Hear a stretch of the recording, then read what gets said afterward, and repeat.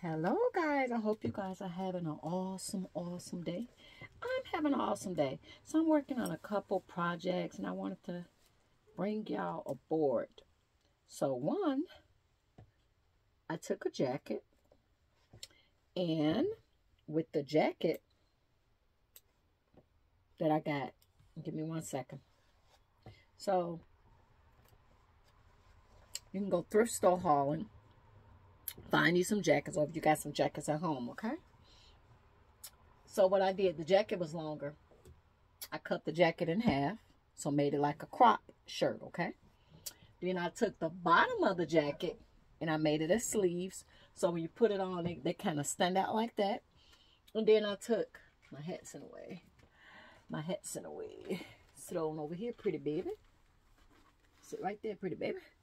And here I had some denim, a denim skirt. Well, I wound up taking the trim from around the skirt because I also took, oh, it had sleeves. I took the sleeves off and I took a little bit of the pocket here, pocket there. And um, the jacket had got too small. So I added a piece down the back to make me be able to fit the jacket because I want to just snap right here. Okay. So I broke a whole lot of needles. That's why I do not, with denim, oh my gosh, I broke a whole lot of needles. So guys, um, I think with those parts, now, this stuff is sewn, but the problem is I was being lazy and didn't want to change the needle. So, you know what I did? I wind up leaving the smaller needles in it. And I tell you all the time, if you're going to sew denim and all that, use thicker needles. So I done broke every needle. So I got a, both of my needles in the uh, sergers broke. And the needle in the sewing machine is broke. So now what I'm doing, these are going to be the pants that I'm going to, that I'm going to wear with this. So these is the pants that I'm doing that's to go with this crop jacket. Okay, guys? These are pants I'm to do with this. So, what I'm to wind up doing, so I'm cutting these squares out, and I and I did some rips effect. So, it's to take some time to cut the squares out. And then down the legs, I don't want them to be long pants leg. I'm to take them and I'm to ruche them up. You know, put the elastic down the leg. So, it's going to take some time to cut, and then I got to get all the, the sewing machine stuff done. So, um, this jacket needs to go in a wash machine, but if I hot glue this, it might come off. So I might just do some stitches to make this stay. And then I'll come back and like secure it permanently to the jacket because I'm not for sure. It's Gorilla Glue. I'll read it. But I don't know about you want to do that right away and put it right in the washer because I want it to fray naturally. So I'm using these little scissors because they got these new jeans out. I got inspired. I got some jeans from Fashion Nova and they had these square boxes in it. So guys, just cut your square boxes to how you want them and get you some small scissors and just take some time because you're going to be here a while and just cut it out. So that's what I'm working on, guys. And it is prom season, so everybody's getting prepared for prom, but I, I got sick, guys. Mm, I got sick. My tonsils was all swollen. So when I went to the doctor. I went to the hospital because I had fever, chills, everything. They told me to go to urgent care. And I'm like, shit, urgent care was downtown. I'm, I'm not driving downtown. I'm going to go to the hospital. Well, I can go to the hospital, get in there, and everything. So I wound up going to the hospital. So they said I had screp. And I know I can't say that. I can't say scrimp, screet, scrape. So don't worry. I can't say none of those words. So, yeah, but they um they give you option that you could take the pills for 10 days or they give you the penicillin shot. So I say, you know what? Hell, I want to be getting well sooner because I couldn't even freaking swallow, guys. That's why y'all haven't seen me. So I wind up taking these shots. My voice is still a little, but I was like a little disappointed because I wanted seafood, but as my everything is waking back up, my taste buds was not in my lymph nodes, guys. I couldn't even get on camera. They still kind of swollen. You see my lymph nodes. Um, I couldn't even taste my food. So I'm like, you know what? Me and my sister was supposed to go out to dinner. So I wind up not going. And, um, yeah. Guys, I got a problem. Y'all know I always be talking with a problem. And y'all tell me what y'all think. Okay. So my sister, a while back, she had, she was over my house. She stayed over. And um, she wound up leaving a bracelet here. And she called me at a later day. Say, hey, sis, could you bring a bracelet? And I'm like, okay. So I grabbed the bracelet. And I put the bracelet in my purse. And, you know, and everything. So by the time I get the bracelet to her, the bracelet is broke. And I'm like, oh my gosh. And I'm like, oh, I was like, it's, you know, one of them bracelets that open it. And I was shocked that, uh, and not trying to be funny, that it was a gold bracelet. I thought it was just some little costume jewelry. She was like, no, this is, um, 14K. I said, oh, okay. So I was like, oh, okay, just probably need a little clamp or something. And she was like, yeah. So it had been in a shop forever, right? So I'm like, okay. So she's like, yeah, the lady said that I buy jewelry from her all the time. So she might, well, uh, you know, give it to me for free, you know, the fixing. Because the little clamp that make the bracelet do this had came out. That, that make it do this. The clamp. And, and the bracelet was... So I'm like, oh, okay. So never at one point ever did she say, hey, when you transported my bracelet to me, I need you to pay for it. So she calls me today and she go, hey, I'm here with the lady. And the lady is telling me that the bracelet is going to be 160 and this, that, and that. And I was like, 160 Really? I was like, how much did you pay for that thing? And she was like, 800 I'm like, oh my God, my sister do not know shit about gold. That shit was hollow as hell. That lady made an ass out of you. And I'm like, you gave her $800 for that shit? And I'm talking, it's, you know, a lot of times, like, people buy them little bitty bracelets for their little kids. The bracelet was that small in stature, but it just clips around, but it just kind of made in a heart. Just, I would not at all thought that it was gold. But anyway, I'm like, oh, okay. And she was like, yeah, the lady. So I guess she got the lady in the background as a co-signer. So she's like, yeah, so they want um 160. And I was like, oh, and I was getting ready to go into the post. I said, oh, I'll call you back. And she's like, oh, okay.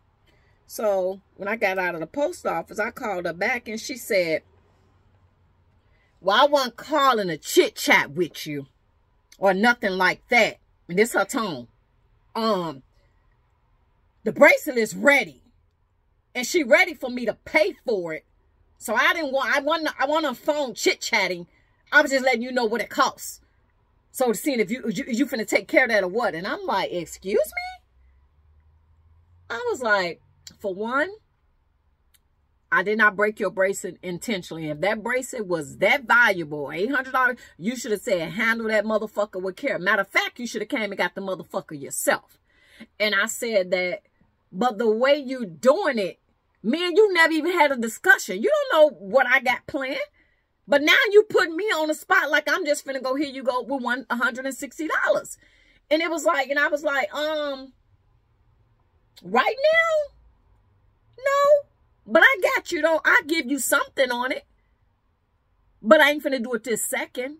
But I would give you something on it. So I kind of felt like she was like, she Suge Knighted me. Like she was shook or some goddamn body, you know. But, you know, me and my sister had this weird, shaky relationship where she's always been a bully. She's always been this type of bully. And I guarantee if it had been anybody else in the family, she wouldn't have went to nobody else with that bullshit. The only one she pulled this phoniness and do all this weird shit with is me. Anybody else, that bracelet would have been broke. She'd have ate that chart. And I said, and them motherfuckers ripping you the fuck off for that flimsy ass bracelet. Just putting a hook in a motherfucker is $160. God, I, I wish I had a picture of that goddamn bracelet to, to fucking show y'all. It just it's just horribly little. And you let them give you $800. And when you touch it, it don't even feel like gold. It feel like a fucking something, a toy. If she'd have left here any longer, I probably would have thought it was, you know, I probably let my granddaughter take it because it looked like it was a toy, costume jewelry. But I talked to my son about it. And I was telling him, asking him, and he was like, no. He said, then I said, but you know what it is? I said, I got to show her because she's a bully. I said, it's her delivery. That ain't how you talk to nobody. You supposed to be like, sis, I'm finna get the bracelet out or whatever. You know, it was in your, it was in your care when it got broke and when you brought it to me. So I was just wondering if you would be willing to help me pay for it because it got broke. But don't Suge Knight me. You get in front of these people and like you finna bully me to fucking pay. I'm not gonna pay like that. So it's like, here we go again. We always separate and break up and you don't be, because I can't, be around no phony fake shit. If you fuck with me, we cool. You fuck with me. But I can't have nobody with this in and out shit with me. Like, it's always like that with her. And it's like, damn, here we go again. Like, just her delivery. Oh, well, I'm just saying. I'm just letting you know what needs to be done. But sound like you want to chit-chat. And I'm trying to get something done. I'm like, oh, okay. But the, the whole way she went about that was wrong. And I felt like if she wanted me to pay for it, she should have asked me hey, I need you to help pay for that. If that if that bracelet was of that value, it's sat here for over a month. You should have said, hey, that is a very valuable bracelet. Can you, well, she don't really have a company like that, but can you, when you bring it, can you make sure you put it on your arm or something? It's valuable, but it's flimsy. It's, it's to break again. You could, you could hit the car though, that motherfucker to break. And they to get out of some more money. I'm like, shit, I don't know who you buying your gold from. But they show getting you that hollow ass gold. Shit, and when it, when it broke, it had the little wire thing. It ain't even all solid. But I don't know, guys. It just bothered me that she did me like that. And I felt like it was a Suge Knight move. And another one of my friends was like, I don't think that was a cost of the brace to be fixed. I believe that they gave her a cost. Because as she talking to me on the phone, she asked her, how much is that? How much is that? And the lady said, that's 2000 That's 1000 That's 700 That's that one is, uh, that one, 3000 4000 That one is, that one right there is, that one, this one right here, 2700 When I say you on there buying that flimsy ass shit and paying that type of money, girl, you need to stop. Whatever. But, so my friend was like, nah, she was in there buying some more. They fucked up gold and added it to that bill. And then telling you that to the lady party. So I give I give you free. You buy this, $150, $160, I, I give you free. Fee, free. No charge for you. Fee, fee, okay? Get your sister pay. She broke it. Make her pay for it. Yeah, she shouldn't do you like that. She not a good sister. You make her pay. And then she called with them motherfuckers on the phone. And like they was finna Suge Knight me. And I was finna be a goddamn fool. So I called my boo. I said, baby, this is what happened. This, that, and that. And do you think I should pay? And he was like, no, I don't and it's and, and I agree with you, it's her delivery. But me, I'm gonna pay. But it's also gonna make me going to stand a fuck away again because every time with me and her is always this bullshit and I'm I'm already alone y'all. I'm sorry. I'm getting emotional. You know, my mother was here, my mother died. So my other sister is here, but I'm not close like that with them. So it's like it's always something. So it's just, you know, I don't know. It's just like, there it go again. We can't have a moment where things is good. And, and I just think it was the delivery of how she presented it to me. Instead of asking me to help, she kind of put me on the spot and kind of like aggressively demanded it out of me. I didn't like that. And I don't, I don't, I don't do threats very well. So, but what I agreed in my mind, I ain't telling her. I told her I'm gonna give her something. So what I what I feel that's feasible, and it ain't my problem because they should have told her before they fixed that fucking bracelet. It's gonna cost you $160 and she could have went somewhere else and let them put a clamp. Hey, I could have put a bobby pin on it. You don't just fix somebody's shit and get them that cost. You don't know if they want to pay that. Most jewelry people will let you know before your shit go out. This is the cost of getting this bracelet fixed. And then she's supposed to sit down with me and say, well, since my bracelet got broke in your care, I need you to help cover some of the costs. So what I'm going to do, just being nice, and I don't feel like I should have to do, I'm going to give her $70. And I'm going to give it to her when I feel like giving it to her. I'm going to um, it to her. And then when she be that good morning sister shit. Good morning, beautiful. Good morning, gorgeous. Yeah, right.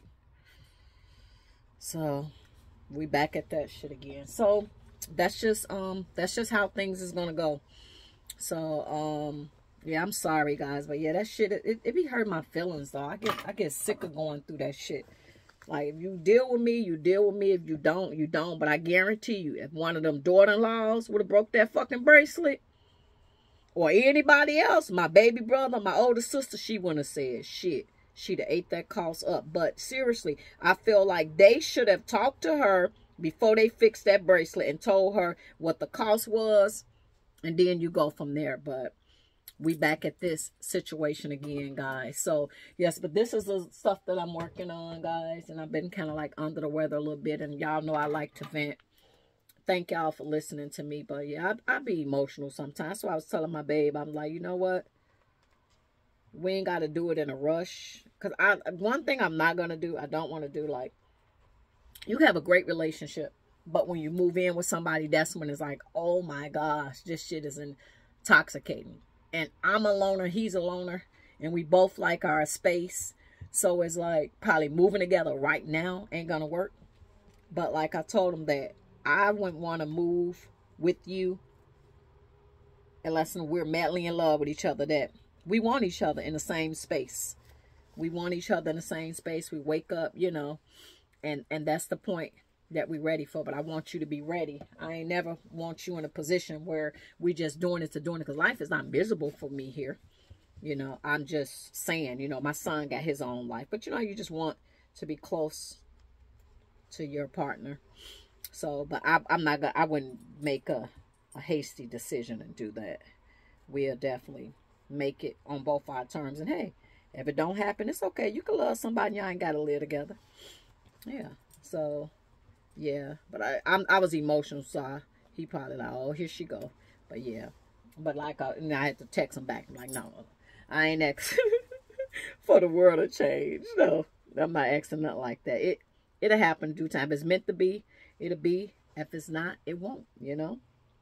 And sometimes, oh God, he'll see this video. About, oh, here she go. But you, I mean, like, I really truly want this to work. But at the same time, if a situation don't work, you got to be able to pick up the pieces, accept it, and you have to be able to go in your own direction. But if I'm not madly in love, if you're not madly in love, I would never come and waste your time and um, take up your space like that just to do it. I wouldn't, I wouldn't do that to you, baby. So you guys okay. Have a good day and we we gonna see how this turn out. So yeah i'm just making squares and the best way to cut these squares guys get some little scissors. Get some little scissors and you can make your squares. You can make your squares little scissors. Yeah so this little outfit is gonna be coming up. It's gonna be different guys. All right guys see you soon. Toodles Thanks for listening to me too, guys. Thanks so much for being my friends, for coming back to me, guys, and talking to me, communicate. I really appreciate it. Y'all are an outlet for me. Thanks. Bye.